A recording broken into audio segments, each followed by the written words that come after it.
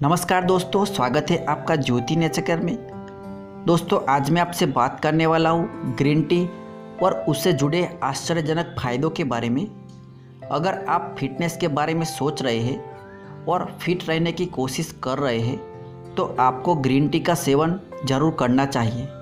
बीते कुछ सालों में ग्रीन टी की लोकप्रियता और डिमांड में काफ़ी बढ़ोतरी हुई है। अपना वज़न कम करने वालों के लिए पसंदीदा पेय है। इसके अलावा स्किन की क्वालिटी सुधारने में, मेटाबॉलिज्म बूस्ट करने और लंबे समय तक एक्टिव बने रहने के लिए ग्रीन टी बहुत फ़ायदेमंद साबित हुई है। इससे पहले कि हम ग्रीन टी के फ़ायदों के बारे में जानकारी लें, पहले हम जान लेते हैं कि ग्रीन टी क्या है। ग्रीन टी कैमेलिया साइनेसिस पौधे से बनाया जाता है।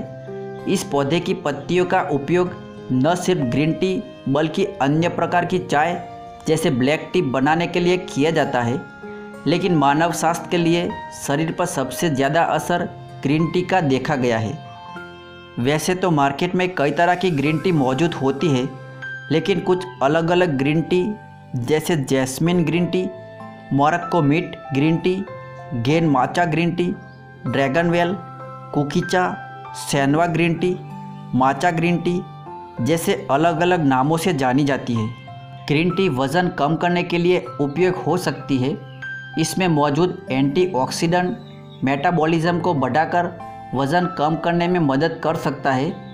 इसे रोज़ाना पीने से शरीर में वास कम होता है और पेट की चर्बी घटती है। इसे वज़न घटाने में मदद मिलती है। ग्रीन टी पीने के फ़ायदों में डायबिटीज़ जैसी बीमारियाँ शामिल है। रोज़ाना एक कप ग्रीन टी पीने वाले लोगों की तुलना में प्रतिदिन छः या उससे अधिक कप ग्रीन टी का सेवन करने वाले रोगियों को 33 परसेंट मधुमेह का खतरा कम होता है। ग्रीन टी में शामिल एंटीऑक्सीडेंट से बालों का गिरना कम होता है और दांत में कीड़ा लगने से बचे रहते हैं। ग्रीन टी के इतने फ़ायदे होने के कारण हमें नॉर्मल चाय की जगह इसका सेवन ज़रूर करना चाहिए। ग्रीन टी में फ्लोराइड अधिक मात्रा में होता है जो हड्डियों की शक्ति को बनाए रखने में मदद करता है। ग्रीन टी के नियमित इस्तेमाल से हड्डियों के फ्रैक्चर के जोखिम को कम करता है। अर्थराइटिस के रोगियों को ग्रीन टी का सेवन काफ़ी फ़ायदेमंद होता है। इसमें मौजूद एंटीऑक्सीडेंट सूजन को कम करने में मदद करता है। ग्रीन टी के रोज़ाना इस्तेमाल से हमारे शरीर की रोग प्रतिकारक क्षमता को बढ़ाकर व्यक्ति को बीमारियों से लड़ने के लिए सक्षम बनाता है। ऐसा इसमें मौजूद कैटकिन के कारण होता है। ग्रीन टी हमारे शरीर की इम्यून सिस्टम को मज़बूत बनाती है।